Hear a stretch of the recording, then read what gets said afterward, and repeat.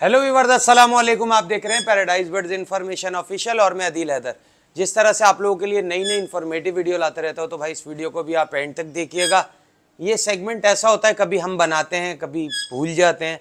तो आप सब्सक्राइबर की बेहद फरमाइश पे दोबारा लेके आए आपके सवाल और हमारे जवाब क्वेश्चन आंसर ठीक है? हेडिंग में आपने पढ़ लिया होगा। तो हमारे व्यूवर्स कह रहे थे दिल भाई, ये आसान रहता है। अक्सर हम वो वीडियो नहीं देख पाते तो आप शॉर्ट शॉर्ट जो है ये बता दिया करें। इसमें हर चीज़ तो इसमें लेंगे चंद सवाल और उनके जवाब देंगे, ठीक है? वीडियो में एंड तक बने रहिएगा। जो लोग चैनल पे नए हैं, वो सब्सक्राइब ज़रूर कर लें चैनल को। यही बस सिला होता है, आपने देना होता है। हमारी वीडियो की मेहनत का कि आप चैनल को सब्सक्राइब करके वीडियो को लाइक शेयर कर दिया करें। अपने टॉपिक की तरफ़ वापस आते हैं। पहला सवाल लेते हैं। इंडिया से हमारे भाई ने पूछा है कि, अदील भाई, हम ऐसा क्या कर सकते हैं कि हमें हम पहले से अपने बर्ड्स को बीमारी से बचा लें। ठीक है, उसके लिए मैं आपको बताता हूँ, जो बीमारी की मेन वजह होती है, बीमारी की मेन वजह ये होती है कि पैरेट जो है वो, उसको इतना सेंस नहीं होता, वो पानी पीता है तो उसमें पॉटी कर देता है। सही है? और आप सुबह को पानी डाल के फिर उसको पूरा दिन पानी चेंज नहीं करते तो लिहाजा मेरी आपसे गुजारिश ये होगी कि पैरेट के घर में जो लेडीज़ होती हैं, वो पानी इनका चेक करें, जैसे ही ये पॉटी कर दे, वो पानी चेंज कर दें। ठीक है? और दूसरा ये है कि आपने ये देखना है कि अगर ट्रे पिंजरे के ऊपर है तो फिर पिंजरे की ट्रे को या तो नीचे लगा दीजिए या नीचे ट्रे वाला पिंजरा ले लें। क्योंकि जो पॉटी होती है, उस पर दाना गिरता है, ये बेदहानी में उसे उठा के खाता है तो जरासीम इसके पेट में जाते हैं। बीमारी की मेन वजह है।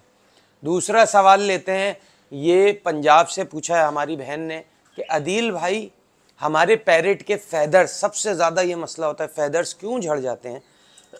देखिए, उसकी मेन वजह मैंने आपको बताई थी। कि किसी भी एक चीज़ का खाली इस्तेमाल। मिसाल के तौर पे अगर पैरेट मूंगफली खा रहा है, आपने उसको मूंगफली दाने में ज़्यादा क्वांटिटी बढ़ा दी तो मूंगफली का ऑयल भी बनता है तो वो ऑयल जो है वो उनको एलर्जी कर देता है। या घर में अगर आप पराठा कंटिन्यू दे रहे हैं, रोटी कंटिन्यू दे रहे हैं, या कोई भी एक चीज़, हर चीज़ आपने ऐसा अपने पैरेट का खुद शेड्यूल बना देना है। वेजिटेबल्स तो आपने कंटिन्यू देनी है पूरे साल वेजिटेबल्स का तो आपने गैप नहीं करना है। अब जैसे सुबह में आपने ब्रेड डाल दी, फिर हल्का सा बॉयल एग दे दिया आपने उनको, फिर उसके बाद आपने कोई फ्रूट दे दिया उनको, और शाम में जो है उनको दाना लगा दिया, फिर रात तक दाना लगा रहेगा, अगले दिन दाने को चेंज करना है। सुबह आपने इसी तरह से रूटीन चेंज करनी है। सर्दियाँ आ रही हैं तो थोड़े बहुत ड्राई फ्रूट दे सकते हैं। सही है? और होता यह है कि हम इनको जो है एक ही चीज़ दे रहे होते हैं, क्योंकि इनको हर चीज़ चाहिए। जब ये बाहर होते हैं जंगल में तो उड़ के हर चीज़ खा रहे होते हैं, हर चीज़ से जो है अपने मुताबिक जो है वो जिसम की जो भी चीज़ की कमी होती है, वो पूरा कर लेते हैं। ठीक है? तो ये चीज़ आपने रखना है तो इन आपके पैरेट को मसला नहीं होगा, सफ़ाई का ख्याल रखें और शावर वगैरह जो है करते रहें। सर्दियों में ना करें, गर्मियों में ये है कि शावर डेली देते रहें। अगर सर्दियों में दें भी तो देख लें कि मौसम अगर गर्म हो रहा है, उसको शावर दें। उसके बाद अगर आपको लगता है कि पैरेट को ठंड लग रही है तो उसको किसी गर्म जगह पे बल्ब लगा के रख दें या उसको हल्का सा हेयर ड्रायर जिससे बालों को सुखाते हैं, वो कर दीजिए। अगला सवाल लेते हैं। ये भी जो है, कराची से हमारी बहन ने हमसे पूछा है कि अदील भाई, पैरेट मेरा खाता नहीं है, पैरेट कम खाता है, इसकी वजह क्या है? देखिए, होता क्या है, पैरेट पहले खा रहा होता है क्योंकि पहले आप पैरेट को तवज्जा दे रहे होते हैं। जब घर में नई नई कोई चीज़ आती है, बच्चे को भी कोई नई नई चीज़ मिलती है तो कुछ दिन उससे दिलचस्पी रखता है, उसके बाद उसका लगाव कम हो जाता है, या उस पैरेट से आप उसको प्रॉपर टाइम नहीं दे रहे होते।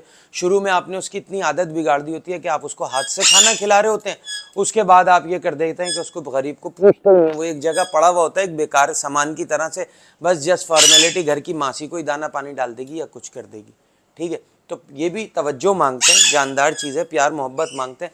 थोड़ा सा उससे प्यार से पेश आएँगे, उसको अलग अलग वेराइटियाँ चेंज करके देंगे। आप कंटिन्यूसली आप उसको दाना दिए जा रहे हैं, दाना दिए जा रहे हैं, उसका भी दिल उगता जाता है। जैसे आपका दिल चाहता है बर्गर, पिज़्ज़ा खाने का, घर की दाल खा खा के आप थक जाते हैं, बाहर से बिरयानी, पुलाव, हलीम, ये चीज़ें खाते हैं, इस तरह से इनका भी दिल चाहता है नई नई चीज़ें खाने का। तो अगला सवाल लेते हैं, ये ऑस्ट्रेलिया से हमारे एक सब्सक्राइबर ने हमसे पूछा है कि अदील भाई, अगर पैरेट के नेल और हमें ख़ुद बनाने हो तो उसका एक आसान तरीका बताएँ फैदर्स काटने हो। देखिए इस पर मैंने वीडियो बनाई भी है।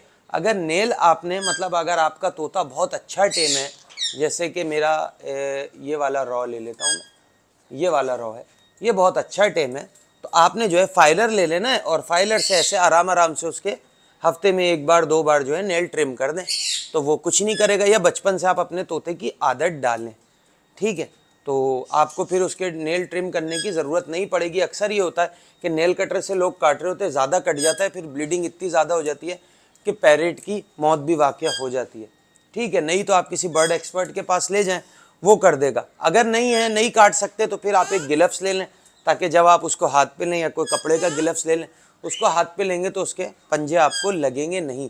लेकिन अगर आप घर में बनाना चाहते हैं तो पैरेट को आप कपड़े से पकड़ लें सही है क्योंकि पैरेट पकड़ने पे बहुत ज़्यादा चीखता है तो आपको लग रहा होता है यार मुझे इसको कितना दबाना चाहिए कितना नहीं दबाना चाहिए? उससे भी मसला हो जाता है। लेकिन बेहतर यही है कि एक्सपर्ट से ए, कोई ढूंढ के उससे नेल ट्रिम कर लें। नहीं तो अगर आपका पैरेट बहुत अच्छा टेम है तो उसको जो है ऐसे फाइलर से ट्रिम करते रहें। तो अगला सवाल लेते हैं। सऊदी अरब से हमारे एक भाई ने पूछा है कि अदील भाई हमारे जो हैं पैरेट मतलब वो कोई एक ही खुराक ज़्यादा खा रहे होते हैं, कोई एक ही खुराक ज़्यादा खा रहे होते हैं तो उसकी वजह क्या होती है? देखिए, उसकी वजह यही होती है कि अक्सर लोग आपने देखे होंगे, कुछ गो गोश्त खोर होते हैं, कुछ दाल खोर होते हैं, कुछ सब्ज़ी खोर होते हैं। सही है? तो पैरेट में भी इसी तरह से होता है, उनका किसी टाइम मूँगफली खाने को ज़्यादा दिल चाह रहा होता है। तो आप उसको लिमिटेड दें, आप उसको बचपन से ही अपने पैरेट को हर चीज़ की आदत डालें। कुछ लोग कहते हैं, यार, हमारा तोता सिर्फ़ सेब ही खाता है। कुछ और नहीं खाता। मसला ये कि जिस टाइम आपने सेब डालना शुरू किया तो आप उसको कंटिन्यूसली आपने सेब दिए सेब दिए सेब दिए। सेब के साथ आप भुट्टा भी दें, गंडेरी भी दें, लौकी भी दें, खीरा भी दें, और मौसम की सब्ज़ियाँ आती हैं, मौसम के फल आते हैं, वो दें। सर्दियों में आप उसे ड्राई फ्रूट में भी हर चीज़ दें, काजू, बादाम, पिस्ता, ये सारी चीज़ें दें। जैसे हमारी बॉडी को नीड होती है कैल्शियम वाइटामिन सही है ए बी सी डी इसी तरह से इनको भी नीड होती है। लेकिन आपने अगर वो किसी और चीज़ पे नहीं लग रहा तो आपने उसको थोड़ा सा कुछ घंटे भूखा रखना है। मिसाल के तौर पे अगर आप सुबह उसको दस बजे दाना डालते हैं, सात बजे दाना डालते हैं तो तीन घंटा लेट डालें। जब आप उसको तीन घंटा लेट डालेंगे तो वो खाएगा। आहिस्ता आहिस्ता उसकी आदत एकदम से तो सही नहीं होगी ना? टाइम लगता है थोड़ा सा। अच्छा अगला सवाल लेते हैं, भाई, ये कोरिया से हमसे पूछा एक भाई ने कि पैरेट को अगर हम टाइम ना दे सकें और हमने उसको वर्डिंग सिखानी हो तो किस तरह से सिखाएँ? देखिए, उसका आसान तरीका है कि आप उसके सामने कोई भी वॉइस रिकॉर्ड करके रख दें, अपनी वॉइस में ब्लूटूथ में करके, वो उसके सामने चलाएँ। सही है? तो वो सीख जाएगा। उससे वो जल्दी सीखेगा। मतलब आप नहीं हैं घर में, आपने किसी जगह पे रख दिया, अब पेरेंट को तो नहीं पता कि ये वॉइस रिकॉर्ड से आवाज़ आ रही है या आपकी आवाज़ है। तो वो इसके सामने चलाते रहें। सही है? वर्डिंग सिलेक्ट कर लें, वो इसके सामने चलाते रहें। तो इन उससे भी वो अच्छा सीख जाएगा, लेकिन आपने पैरेट को दो बार दिन में तीन बार कम से कम हाथ पे निकालना है, इस तरह से करना है। अगर आपका पैरेट पट्टा है, बड़ा पैरेट है, अब इसको मैं जंगल में छोड़ दूँ, उड़ा दूँ, कुछ भी कर दूँ, या हैंड टाइम रहेगा, या ख़राब नहीं होगा। ठीक है? जो मतलब आदत एक बन जाती है, वो बनी रहती है।